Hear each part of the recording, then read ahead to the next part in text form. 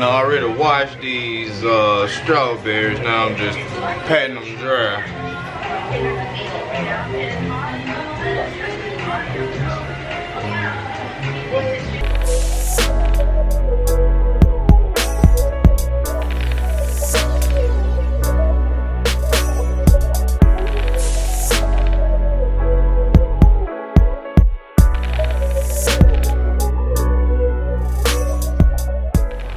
Alright, to melt my chocolate, got me old Pyrex bowl inside a pot. Get back, big head. Inside a little boiler. Is it chocolate? Oh, not yet. Being uh, stood up since uh, I ain't really got no pot big enough for the ones that's big, too big. So I got this small one here. Oh, big head. Got this small one here being held up by these spoons to keep it from being flush, flush, flush to the uh to the pot. So therefore uh, the steam won't I don't want to mess nothing up. So hey, I got that like that. So the steam can come through so it can ventilate. That's the ventilation. Got the spoons there for the ventilation. I got me some water in there. Let it heat the water up and put my chocolate, put the chocolate in the Pyrex.